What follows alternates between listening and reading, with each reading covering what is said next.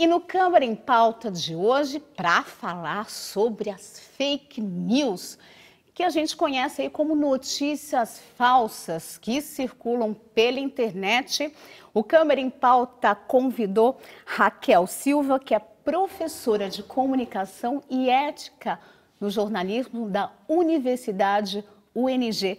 Obrigada, Raquel. Muito obrigada, é um prazer estar aqui com vocês, ainda mais para falar desse tema tão importante na sociedade, né? Tá certo, então nós trouxemos aqui no Câmara em Pauta para tratar desse tema também Luiz Augusto Filizola Durso, que é presidente da Comissão Nacional de Estudos dos Cybercrimes da Abracrim, que é a Associação Brasileira de Advogados Criminalistas. Ele também é vice-presidente da Comissão de Direito Digital e Compliance da OAB São Paulo. Obrigada pela participação. Eu que agradeço o convite, é um prazer estar aqui falando a você, falando a, a população de Guarulhos nessa Câmara tão importante que deve tratar esses temas, é, inclusive em atenção à população. Obrigado. E para integrar esse nosso grupo de debate sobre fake news, nós convidamos também Tiago Oliva, que é coordenador da área de liberdade de expressão da, do Internet Lab. Obrigada por ter aceito o nosso convite, Tiago. Eu que agradeço pelo convite, pela oportunidade de falar sobre esse assunto, né, que tá, enfim, todos nós temos contato constantemente, é, nesse momento eleitoral que a gente vive falar um pouquinho sobre o Internet Lab, para quem não nos conhece, nós somos um instituto de pesquisa que foca é, na interface entre direito e tecnologia. Eu sou coordenador da área de liberdade de expressão, que é bem afim a esse assunto das fake news. Nós também temos pesquisas desenvolvidas na área de privacidade, informação e política, marcadores sociais da diferença. Então, para quem quiser conhecer um pouquinho o trabalho do Internet Lab, é, eu convido vocês, a gente trabalha essa questão das fake news. Bom, agora que a gente já introduziu, já falou um pouquinho sobre os nossos convidados, vamos passar para o nosso tema que está quente, aí não só né, na, nas mídias, nas redes sociais e também na imprensa, né, na imprensa geral, que imprensa brasileira e também na imprensa internacional. Raquel, para a gente começar o programa entendendo melhor o que é fake news, conta para a gente um pouquinho da história desse conceito de fake news, notícias falsas. Sim, é, fake news, a tradução ao pé da letra seriam notícias falsas, e como tal, é algo que sempre existiu na história da humanidade, né, que são os famosos boatos, notícias plantadas, né, com finalidades diversas, principalmente é, como ferramenta de luta política. Né? Então, eu vou lá e coloco uma notícia falsa sobre o meu adversário, né, para que as pessoas se revoltem contra ele, que ele perca o apoio então isso acontecia desde o tempo das monarquias, quando a imprensa começa a se constituir. Né? Então, é, o jornalismo ele vai carregar essa tradição, porque até então era o jornalismo e eram os jornalistas que detinham a possibilidade de emitir notícias, de fazer circular as notícias. Com a existência da internet e mais particularmente das redes sociais a partir dos anos 90, é que a possibilidade de emitir notícias e informações está ao alcance de todos. Agora uma coisa... E as fake news prosperam. Prosperam. Tiago, dá para a gente fazer uma relação desse do aumento do acesso às pessoas, né, a, por conta das redes sociais, a possibilidade de cada pessoa ser um produtor de conteúdo, dá para dizer que isso também ajudou na proliferação das fake news? Não, sem dúvida. Se por um lado a internet ela possibilitou, ela democratizou o acesso à informação e a produção da informação, né, por meio de ferramentas, é, a quais todos nós temos acesso. Se antigamente a gente só conseguia é, se informar por meio de grandes veículos, hoje a gente consegue é, ter jornalismo independente, outras formas de, de, se informar na internet. Isso também possibilita a manipulação dessas, desses mecanismos justamente para a produção de desinformação que a gente fala, né? que seria a informação produzida com essa intenção de, na verdade, é, é, enganar as pessoas, enfim, com alguma, é, alguma intenção maior por trás. Então, realmente. Mas Raquel, você falou assim que isso vem de muito tempo já, né? Desde que a gente conhece, a gente fala de informação, fala de comunicação. É, a questão da, de, de, você manter a credibilidade né, dos, nos órgãos de jornalismo, isso é, protege as pessoas, quer dizer, a pessoa, a pessoa ao acessar um jornal, né, um site de jornal, um, ou então de TV ou da grande imprensa, ela está isenta aí do, das fake news ou menos propensa a ler fake news? Isso. A gente pode dizer que sim, porque as empresas jornalísticas, elas respondem juridicamente, inclusive pelos seus atos, e elas têm um capital muito importante que é credibilidade. Então, se elas forem pegas na mentira, forem desmascaradas, elas perdem valor de mercado. Isso é financeiro, inclusive. Né? Então, existe essa preocupação com a checagem dos fatos. E checagem de fatos é uma das expressões mais importantes para o combate à fake news. Nas técnicas de jornalismo, eu, como professora em diversas disciplinas, ensino aos meus alunos que uma informação não deve ser simplesmente aceita e repassada. A gente tem que checar antes de publicar. Mas a partir do momento em que as notícias não estão mais sendo feitas por jornalistas, ou que as empresas, né, a origem não pode ser identificada, as pessoas perdem o compromisso com a verdade. E aí torna-se muito fácil criar notícias falsas para atrair cliques de internet, porque isso rende muito dinheiro. Ou até de espalhar coisas mentirosas com objetivos políticos também. Essas são as principais finalidades, embora não sejam as únicas, né? O Luiz Augusto, e as pessoas né, que compartilham notícias falsas, elas são corresponsáveis, então, pelas fake news? Sim, é, depende, depende da área que vamos tratar.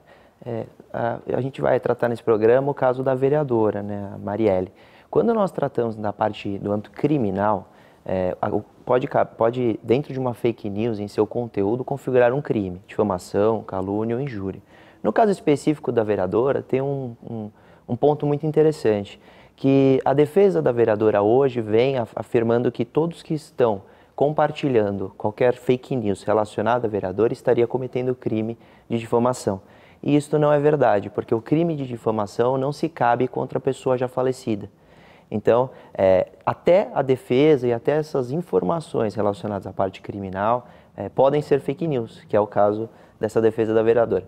É, agora, quando tratamos no âmbito civil, sim, todos que compartilham uma notícia falsa e que podem ali estar ofendendo é, ou prejudicando uma pessoa podem responder no âmbito civil e arcar com uma indenização, que é o caso também na vereadora, porque ali a família é, e o próprio partido sofrem um dano moral reflexo e podem sim é, ingressar com uma ação civil contra todos que compartilham para é, receber essa indenização. E olha que é muita gente.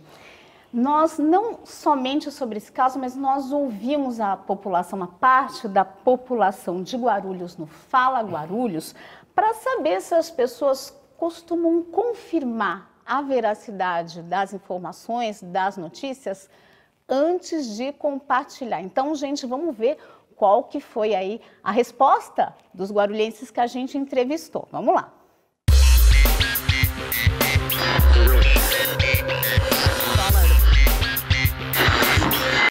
Antes de compartilhar, a gente verifica se, se realmente é falsa ou verdadeira. Procuro na internet, jornais, na TV e etc. O próprio caso da, da vereadora morta lá, Marielle, né?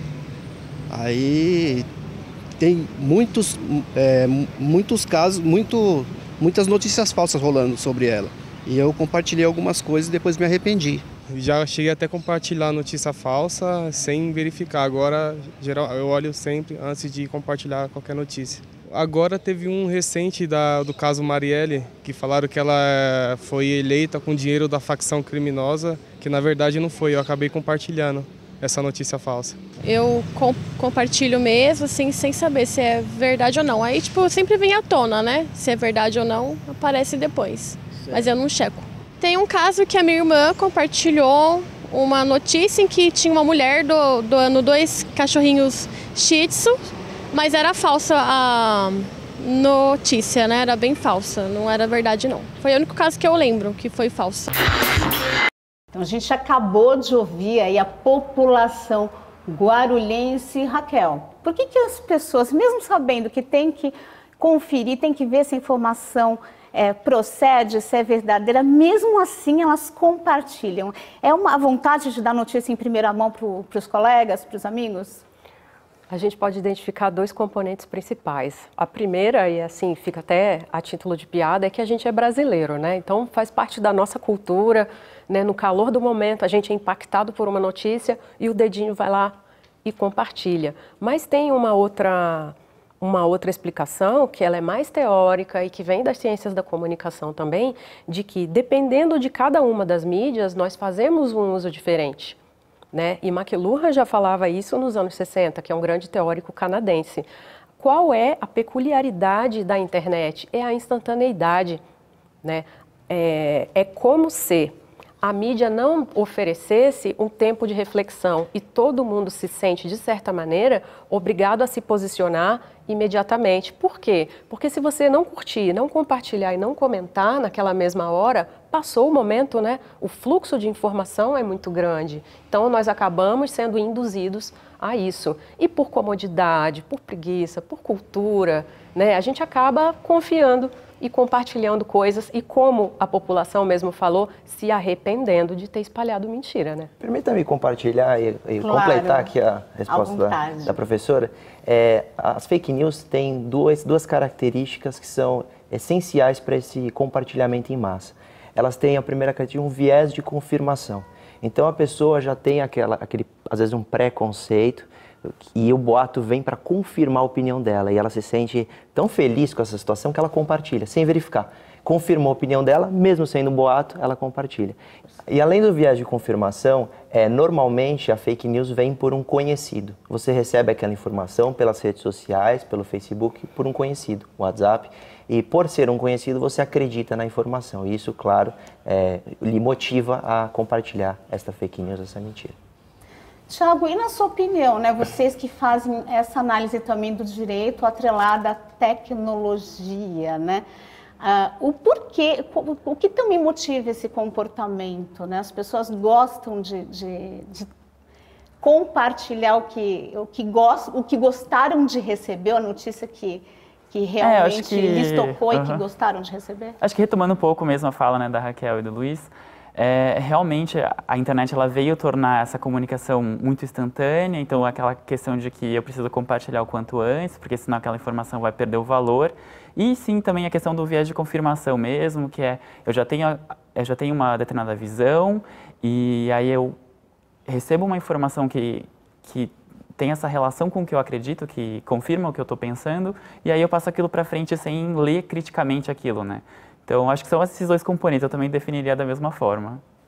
Certo, eu tenho uma informação aqui.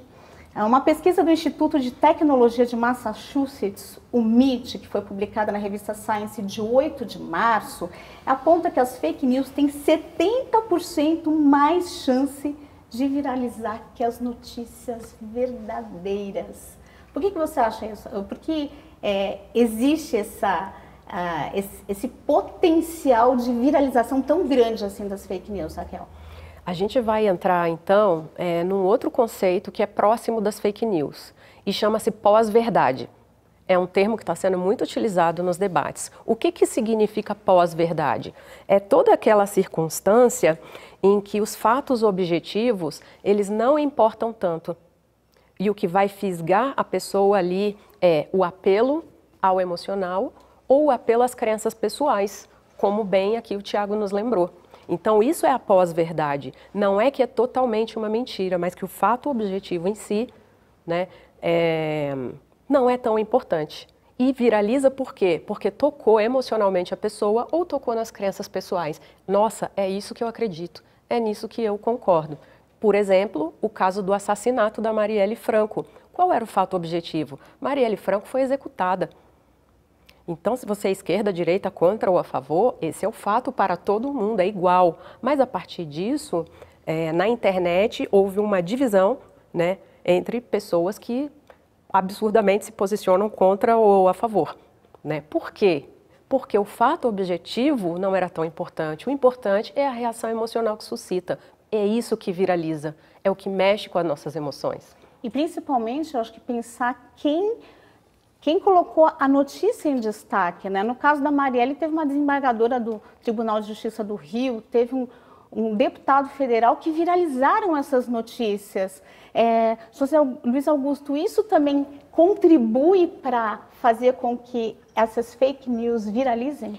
É, esse, essa característica é essencial, porque quando uma pessoa tão importante e com grau de estudo tão elevado compartilha uma notícia, você já parte da premissa que é real, que não é uma fake news, porque a desembargadora deveria sim ter verificado como qualquer um de nós.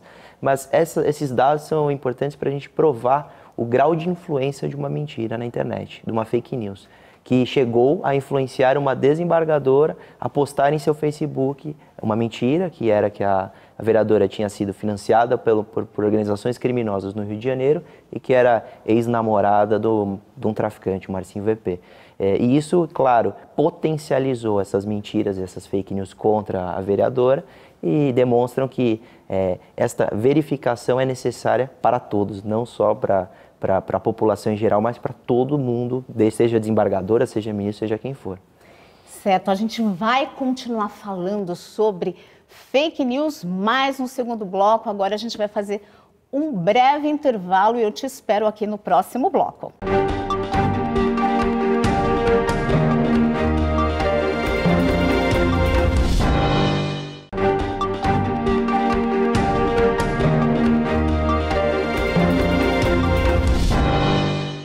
De volta com Câmara em Pauta, o nosso tema de hoje é fake news, notícias falsas. E a gente está tratando desse tema, debatendo fake news, com a Raquel Silva, que é professora de comunicação e ética no jornalismo da Universidade UNG. Também estamos tratando desse assunto com o Luiz Augusto Filizola Durso, que é presidente da Comissão Nacional de Estudos de Cybercrimes da Abracrim, que é a Associação Brasileira dos Advogados Criminalistas, e também está representando aqui a Comissão de Direito Digital e Compliance da OAB São Paulo. Também trouxemos para o nosso debate o Tiago Oliva, que é coordenador da área de liberdade de expressão da, do Internet Lab. Bom, vamos voltar aqui para o nosso tema de hoje, que é fake news, mas vamos falar um pouquinho da fake news no âmbito das eleições. Além de vocês, nós convidamos para contribuir com o programa por meio do Conexão Câmara o cientista político Guilherme Amaral, cientista político da Universidade UNG.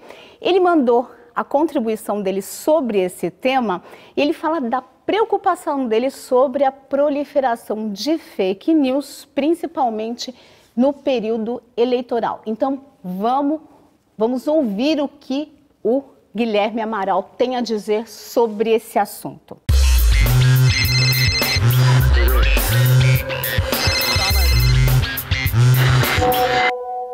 Eu vejo com muita é, preocupação a, proliferação é, das chamadas fake news, por quê? O que nós vemos é que existem a contratação de empresas especialistas, a, a existência de robôs na internet que se fazem passar por pessoas e acabam modificando a opinião dos eleitores é, e mudando o vetor eleitoral para determinados assuntos ou, pra, ou contra ou a favor de determinados candidatos. Uh, esse tipo de proliferação de notícia, sem uma apuração, sem o rigor que precisa ter é, dentro da atividade jornalística, é algo extremamente eh, perigoso é, do ponto de vista do eleitor e da sociedade que fica desguarnecida, isto é, fica sem uma condição de se defender é, adequadamente é, da, das informações que chegam até ela. É fato hoje que as pessoas se informam muito pelo Facebook, se informam muito pelo WhatsApp e as notícias aí veiculadas não têm qualquer credibilidade.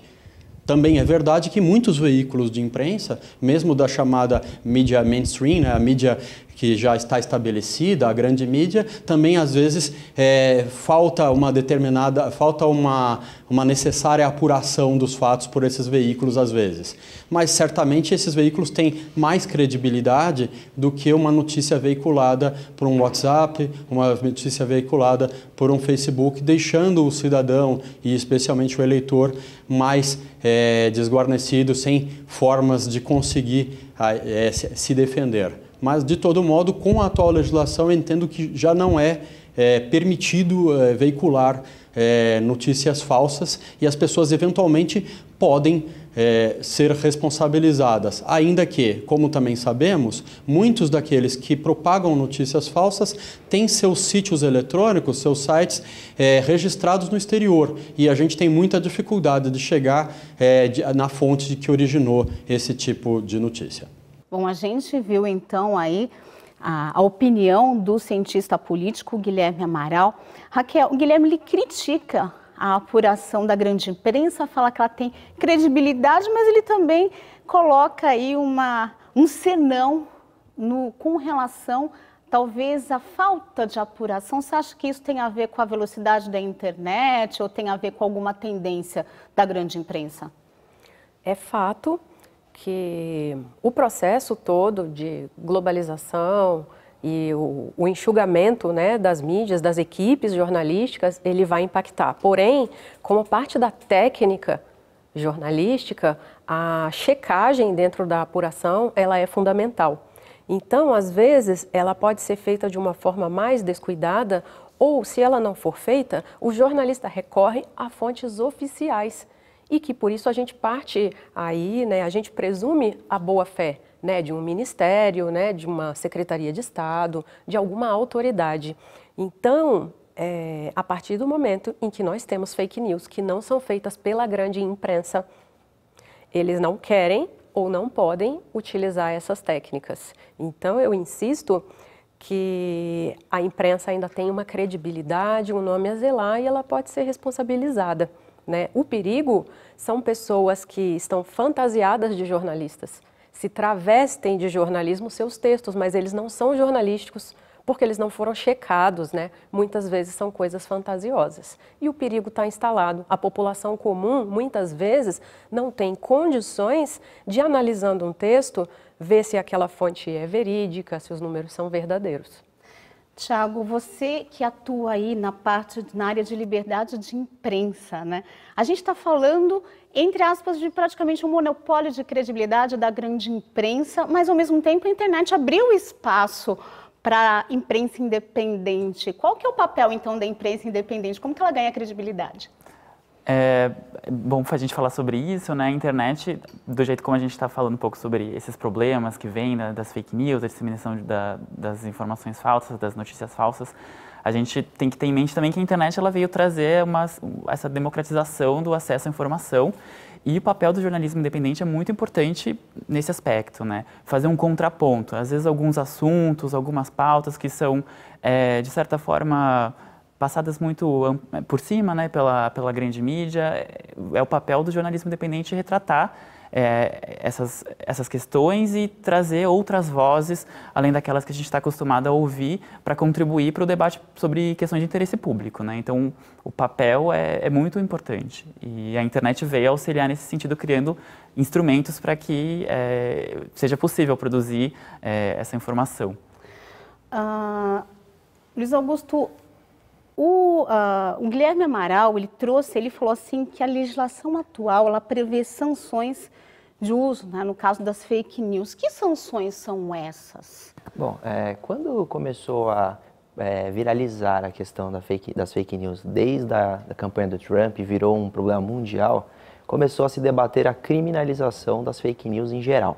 Porque, como eu havia dito no outro bloco, é, cabe criminalização quando, dentro de seu conteúdo, é configurar um crime de difamação, injúria ou calúnia.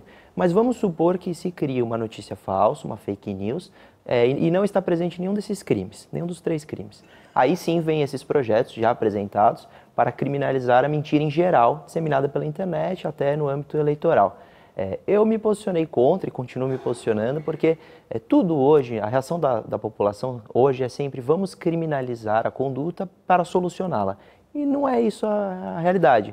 Se nós hoje criminalizarmos as fake news em geral, não será a solução para a campanha que, que está daqui a alguns meses. Então, é, penso que o papel do eleitor e da população, quando não tratamos de eleição, em verificar a informação antes de compartilhá-la, é o primeiro, primeiro papel no combate. Então, é claro, aquela notícia vai perder a força no compartilhamento e não vai ter a influência necessária para se tornar uma fake news de relevância. E o papel também das redes sociais. Porque, claro, elas podem sim, já, vem, já estão fazendo o controle dessas notícias falsas para remover do ar. É, então, a, e a, claro, o papel de combate deve ser feito pela população e pela, pela pelas redes sociais. E em questão de, de responsabilização e criminalização, como eu disse, no âmbito civil, se houver ali uma, uma, ofensa e um prejuízo à pessoa vítima daquela fake news, cabe a indenização civil. No, no âmbito criminal, precisa sim configurar um desses, desses três crimes que eu citei. Super interessante. Tem um estudo de posts da candidatura das eleições presidenciais, isso lá de 2014, foi um estudo feito pela Diretoria de Políticas Públicas da Fundação Getúlio Vargas, que apontou que foram utilizados robôs, tanto nas candidaturas da, na, na época da candidata Dilma Rousseff, candidato Écio Neves e Marina Silva, para espalhar notícias, informações positivas sobre o candidato. No caso, não eram fake news, né? não inventaram fatos, mas utilizaram esses robôs para espalhar notícias boas sobre esses candidatos. E hoje a gente tem, por causa da das eleições dos Estados Unidos, do escândalo que teve é, lá nos Estados Unidos, alertas do FBI, inclusive para aqui o TSE, o Tribunal Superior Eleitoral, para que se tome cuidado com as fake news nas eleições. E, e o tribunal também criou um conselho consultivo. Conta para a gente quais são as ferramentas que o Tribunal Superior Eleitoral dispõe para fazer essa identificação, esse controle de fake news, porque a gente está em ano eleitoral e é muito importante que as eleições aconteçam de uma forma democrática, enfim, que as pessoas tenham acesso a informações, enfim, adequadas sobre os seus candidatos. Um dado importante para a gente trazer aqui a quem nos assiste, um robô consegue compartilhar mil tweets no Twitter por segundo. Então, o poder de disseminação de uma informação com o apoio desses robôs é absurdo e, claro, potencializa as fake news. Preocupado com essa situação né, para a campanha, o TSE, Tribunal Superior Eleitoral, pelo seu presidente, o ministro Fux, é, criou um comitê, uma comissão para estudar e combater as fake news. E conta com o apoio da FBI, que está vindo para trazer essa expertise deles para nos auxiliar nesse combate agora nas eleições. E o papel hoje está dividido em, em duas categorias: inibir e combater. Inibir é informar a população, com meio de cartilha, é, demonstrar o papel do eleitor é, em, em, tentar ao máximo conter esse compartilhamento das fake news. E combater, é, como eu citei, aí sim ajuda das plataformas e das redes sociais para é, verificou que é fake news, tira do ar. Estando nas redes sociais ou ao qualquer site no ar, tira do ar até por ordem judicial. Esse é o papel principal. É, nós temos uma notícia do dia 28 de, de, de março que é, este, essa comissão também está preocupada com aquela empresa analítica, que foi a responsável pelo escândalo da semana passada do Facebook. Então, o, este comitê, inclusive com ajuda e, e, apoio total do ministro Fux, está convidando, não intimando, esses, os responsáveis pela Analítica Brasil para irem até essa comissão e prestarem esclarecimentos se eles têm dados de brasileiros e se estão vendendo para algum candidato. Então, o papel deste, desta comissão tem sido importante para a gente combater as fake news agora nas eleições. Importante isso. Agora, tem, eu queria trazer aqui uma informação para o Tiago, para ele poder comentar, relacionada ao WhatsApp. É, segundo a Datafolha, dois terços, gente, dois terços dos eleitores brasileiros, fiz uma, fiz uma conta aqui, são mais ou menos 98 milhões de pessoas usam o WhatsApp, 36% leem o conteúdo do que recebem, 21% compartilham, já é muita coisa, né? E o WhatsApp, ele vai ser uma arma poderosa nessas eleições de 2018? É, sem dúvida. É, o WhatsApp, ele ele é menos transparente que outras redes sociais, né? Como o Facebook ou o Twitter, que a gente posta lá e todo mundo pode ver o que foi postado anteriormente. O WhatsApp é uma comunicação mais de pessoa para pessoa, às vezes pessoa para o grupo de pessoas, né? Mas a gente não tem um controle do que está sendo compartilhado ali. Então, é, e como aquilo chega diretamente na pessoa, é muito mais fácil de disseminar informações é, falsas, né? Notícias falsas por esse meio. É, então, muito provavelmente a gente vai estar tá sujeito a a disseminação de fake news pelo WhatsApp, especialmente nesse momento eleitoral que a gente está vivendo. E é mais difícil também de, de, controlar, Luiz Augusto, no caso do, do WhatsApp? Sim, controlar e investigar, porque o WhatsApp, a informação é criptografada.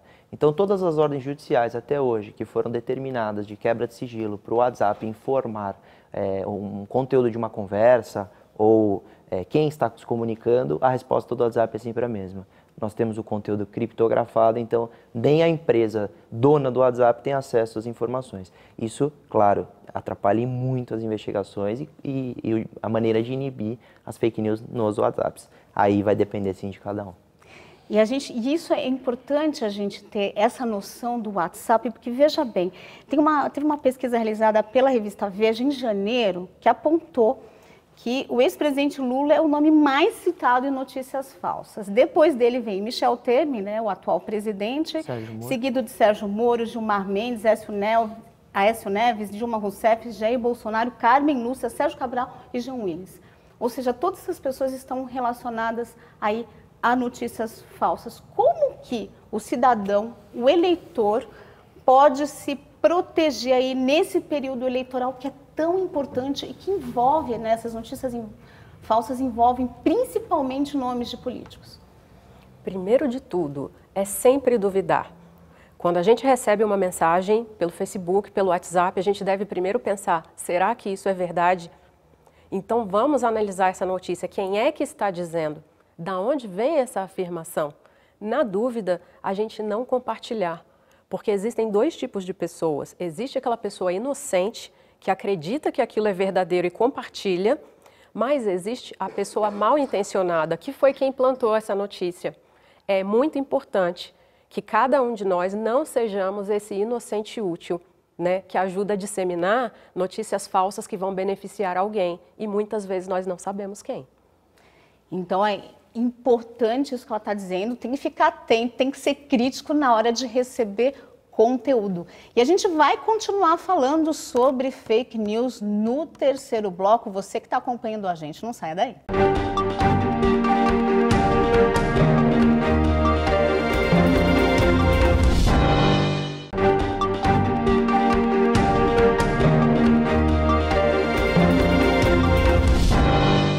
De volta com Câmara em Pauta, nós tratamos hoje de fake news, notícias falsas que circulam pela internet. E a gente está debatendo esse assunto com três convidados. Está aqui a Raquel Silva, que é professora de Comunicação e Ética do Jornalismo da Universidade UNG. Convidamos também Luiz Augusto Filizola Durso, que é presidente da Comissão Nacional de Estudos de Cybercrimes da Abracrim, Associação Brasileira de Advogados Criminalistas. E temos aqui também para tratar desse assunto conosco o Tiago Oliva, que é coordenador da área de liberdade de expressão do Internet Lab. Bom, vou começar esse bloco aqui com o Tiago.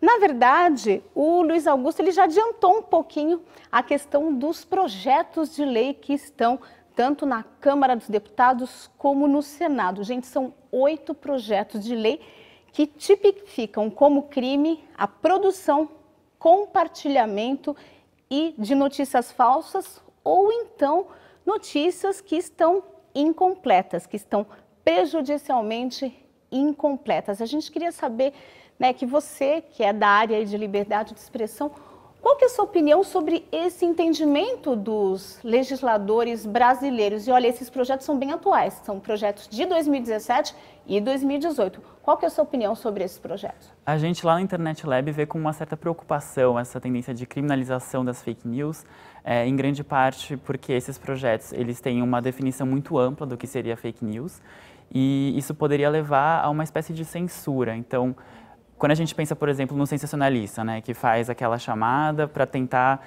induzir as pessoas a não re realmente acreditar naquilo, mas é uma forma de fazer uma crítica, né, é, a gente entende que o risco da criminalização é de acabar censurando esse tipo de manifestação, que tem um grande valor para o debate democrático, né?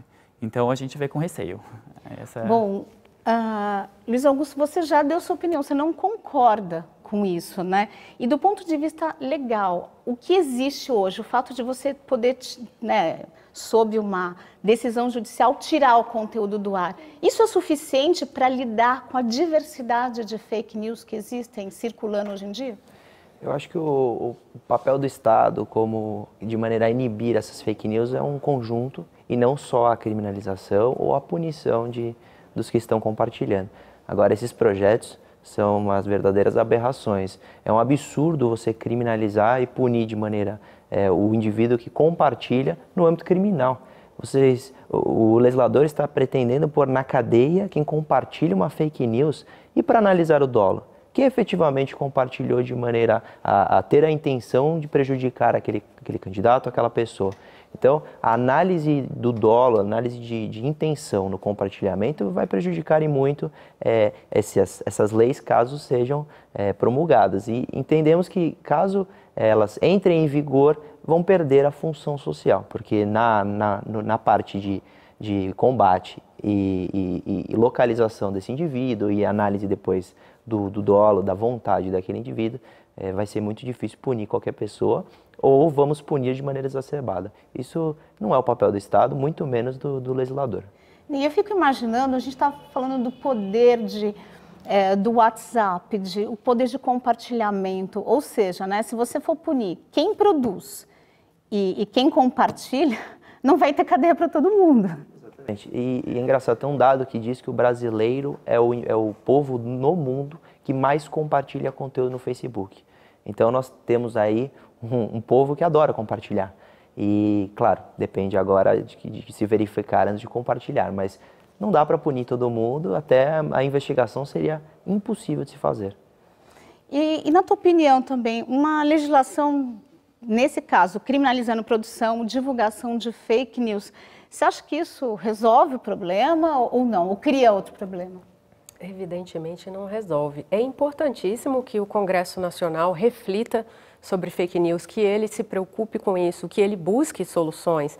Mas o legislador deveria saber que ele não possui uma caneta mágica. Não é só porque eles escreveram uma lei que as coisas se resolvem. Né? Então, como os outros convidados especificaram, na prática, vamos supor que 100 mil pessoas compartilharam. Como é que a justiça vai citar 100 mil pessoas? Como é que ela vai, né? Os donos dos sites, o site está registrado no exterior. Na prática, as propostas que estão vigorando hoje no Senado e na Câmara não funcionam, não resolvem. Então, nós temos que trabalhar a outra ponta, que é conscientizar as pessoas para que elas não sejam utilizadas, para que elas entendam que elas são responsáveis a partir do momento que elas compartilham. Então, a gente tem que trabalhar nas duas pontas. Não é algo que vai vir somente de cima para resolver nosso problema. Quando a gente fala de legislação também, Luiz Augusto, eu tenho informações aqui sobre ah, alterações na legislação tanto da Alemanha quanto nas Filipinas. Então, na Alemanha, eles fizeram um ato para cumprimento da lei nas redes sociais entrou em vigor em outubro de 2017 e ele prevê que os provedores de redes sociais devem remover ou então bloquear conteúdo ilegal ou falso dentro do prazo de 24 horas. Se não fizerem isso, vão pagar uma multa é, aí astronômica, se eu não me engano, são 50 milhões de euros.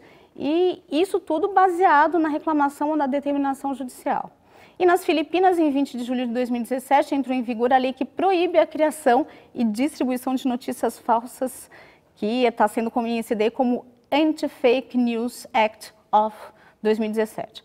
É, nesse caso, né, o Brasil, você acha que os legisladores brasileiros estão tentando seguir esse, essa série de legislações que estão sendo criadas mundo afora para tentar controlar esse, essa grande quantidade de fake news? Bom, eu como advogado criminalista não consigo trazer um exemplo de uma conduta que após criminalizada se resolveu o problema na história do Brasil e o Código Penal é de 1940 e não há, a criminalização não, não soluciona.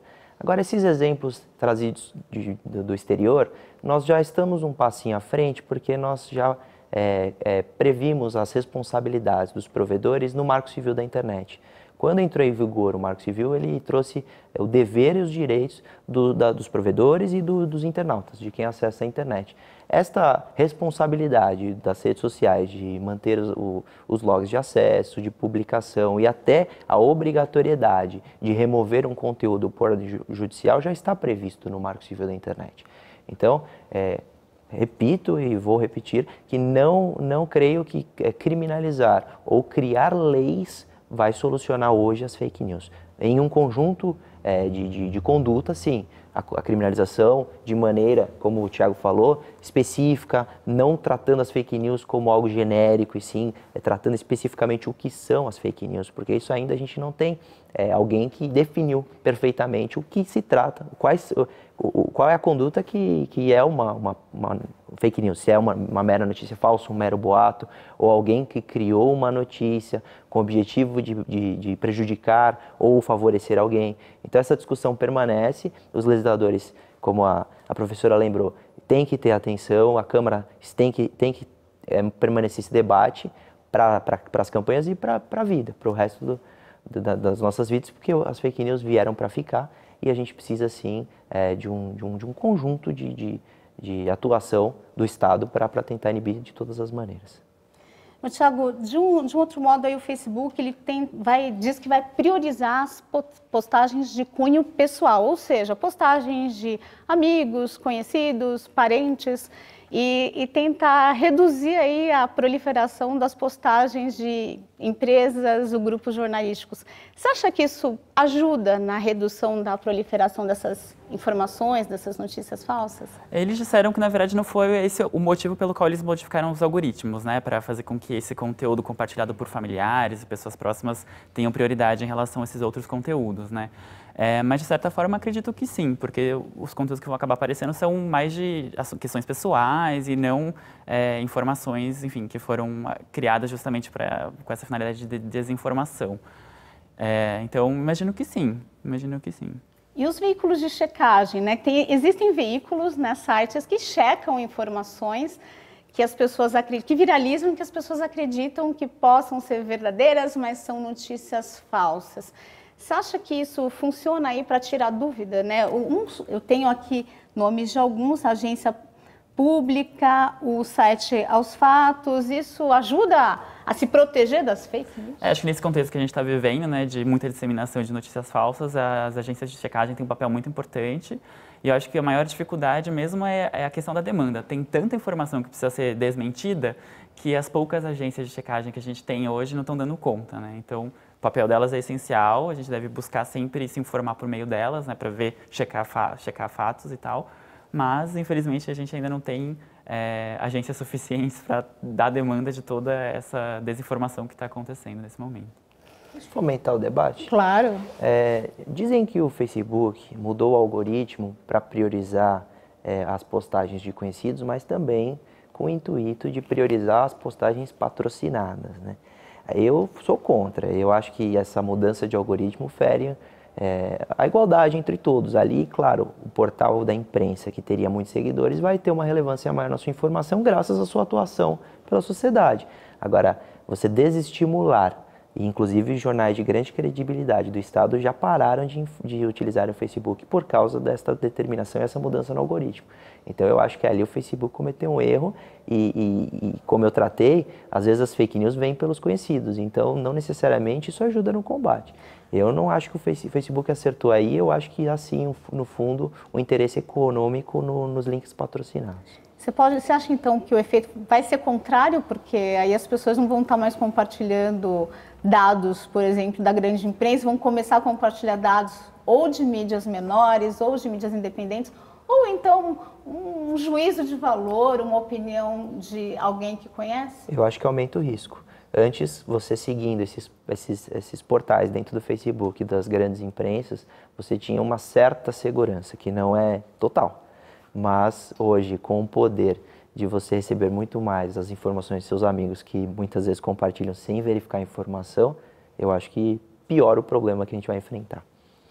Raquel, dá, dá umas sugestões aí para a gente falou tanto de é, conversamos sobre os projetos de lei, sobre tentativas de criminalização, que né, a gente já chegou à conclusão aqui que não funciona, é, sobre os sites que fazem a checagem. Dá uma sugestão aí para o nosso telespectador, para o nosso internauta, para que ele se prepare para lidar com é, as fake news, nesse, principalmente nesse ano, 2018, ano eleitoral, né, e, e também para, que ele possa combater essas informações. Você já deu uma outra sugestão nos, nos blocos anteriores, mas qual seria aí a fórmula geral, né? Que, que perguntas ele tem que se fazer, o que, que ele tem que prestar atenção, porque às vezes o, a própria característica do texto pode indicar que hum, esse texto é estranho, né? Que, que, quais são as, as formas de identificar uma fake news? Eu convidaria todas as pessoas que estão preocupadas né, com essa responsabilidade do compartilhamento a que utilizem ferramentas que tradicionalmente são dos próprios jornalistas. Então, seja você também, é, de certa forma, um jornalista.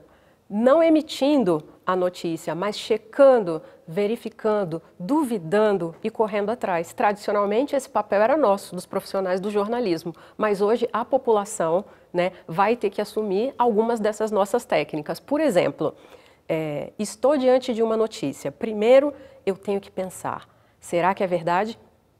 O que, que eu posso fazer para descobrir? Eu vou na URL, que é o enderecinho, né? www, para descobrir qual é o site, da onde vem essa notícia. Eu já ouvi falar nesse site? Ele é confiável?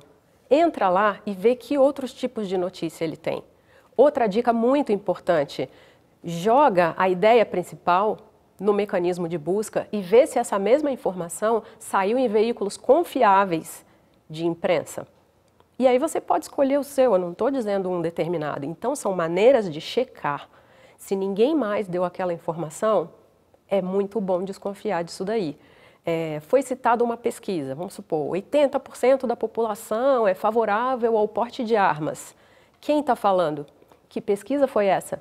onde, quando, como ela foi feita, quem é a empresa de pesquisa. Tá? Eu tenho como recuperar esses dados na internet, porque isso pode muito bem estar sendo inventado. Então, as pessoas podem utilizar o que nós jornalistas sempre utilizamos para conferir, né? tentar conferir se aquilo é verdadeiro ou não. Não é 100% de garantia, mas pelo menos nós estaremos fazendo a nossa parte. Certo, então, dados, dicas para você telespectador internauta ficar atento e tentar de, né, separar o joio do trigo. Bom, com isso a gente está chegando no final do nosso programa. Gostaria que cada um de vocês aí, fizesse uma consideração final. Vou convidar agora o, o Tiago para abrir essas considerações finais sobre esse tema, enfim, sobre o programa. Está aberto. É, bom, eu acho que a gente que a gente constatou aqui do programa é que a gente tem uma situação é, complicada e que a gente não tem resposta né, para esses desafios, mas que a gente precisa ter essa consciência é, de quando entrar em contato com as notícias, ter essa preocupação de checar as fontes, enfim, como a professora Raquel colocou. Então, acho que cabe a todos nós tentar combater, de certa forma, essa disseminação das fake news. É, eu, eu trouxe aqui é, um, um, guia que a gente elaborou é, juntamente com a plataforma democrática. É, o nome é Sobrevivendo nas Redes. Então, é justamente para falar sobre como é, as, as, informações circulam hoje em dia nas redes sociais e um pouco dessas dicas, inclusive a Raquel estava comentando, né, sobre a checagem das fontes, o momento quando a notícia foi veiculada, de buscar saber é, se aquela fonte ela é realmente é confiável, enfim, uma série de dicas para falar para entender como como consumir informação nos dias de hoje. É, ela está disponível no site da Editora Moderna para baixar, é gratuito, então eu aproveito para falar sobre esse material que pode ajudar bastante a gente a conseguir sobreviver aí no meio desse mar de desinformação. Super legal, então mais uma dica para o nosso telespectador para fugir aí desse, desse mundo enorme de fake news. Luiz Augusto, suas considerações, por favor. Bom, peço Vênia para falar diretamente aos nossos telespectadores hoje e falar hoje que o papel de todos nós mudou. Claro, nós sempre tivemos a ânsia de contar aquela novidade pessoalmente e hoje esse nosso papel nas redes sociais mudaram muito. É, hoje a gente depende sim de verificar a informação antes de compartilhar, até para não sofrermos as sanções das, das leis e uma eventual responsabilização criminal ou civil. Então, é, e, este, e este papel se agiganta, porque antes, como eleitor, nosso papel era do voto, que já é muito importante. Hoje nós temos o papel de, da, da informação. Então, é, falo você, eleitor, que tome cuidado com a informação e verifique antes de compartilhá-la, para assim nós estar, estarmos é, efetivamente participando das eleições, para depois podermos reclamar da política, que tem acontecido muito hoje. Então vamos participar até na questão das fake news, até no combate, para amanhã podermos reclamar daquele político ou da política em geral, que vem acontecendo muito. Obrigado, eu agradeço o convite. Certo. Raquel, então, por favor, peço que você encerre aqui o programa com as suas considerações finais. Fica para mim então essa responsabilidade. O debate político hoje no Brasil está numa temperatura altíssima, né? E as fake news elas são gasolina nessa fogueira. Então, é, o perigo é evidente. Então, nós podemos ser manipulados para um lado ou para o outro. Isso daí já nem importa mais. Mas nós podemos nos unir em torno dos fatos objetivos. E pessoas de campos opostos, ideologicamente falando, elas podem se unir em torno de algo em comum, que é a objetividade dos fatos. Sempre tem alguma coisa a partir da qual a gente concorda, que as coisas do jeito que estão não podem ficar. E a partir daí a gente vai discutir racionalmente, friamente, o que nós podemos fazer. Certo. Então, gente, o recado dos nossos debatedores aqui está dado. Você presta atenção como eleitor, como cidadão, de conferir a veracidade do que você está compartilhando. Isso é super importante. Eu convido você também para participar do Câmara em Pauta, enviando sugestões de tema, fazendo elogios, críticas. E para isso, basta você enviar um e-mail, uma mensagem para câmaraguarulhos.sp.gov.br. A gente vai ficar super feliz de receber a sua manifestação, que é para você que a gente faz esse programa. Não se esqueça, toda segunda-feira, à uma e meia da tarde, a gente prepara uma edição inédita do Câmara em Pauta para você, telespectador internauta. E eu aproveito agora para me despedir, desejando a você uma boa semana e até a próxima.